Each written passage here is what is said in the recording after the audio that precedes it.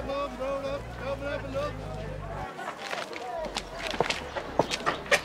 Amy. It's lunchtime. Yeah, well, we're having early dinner, so don't be late home. I will be. Oh, you will? I don't see any sports stuff or... I joined the chess club. Amy.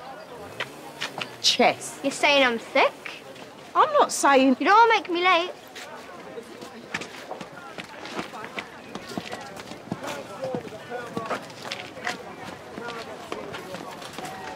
Man of the floor was all wrong.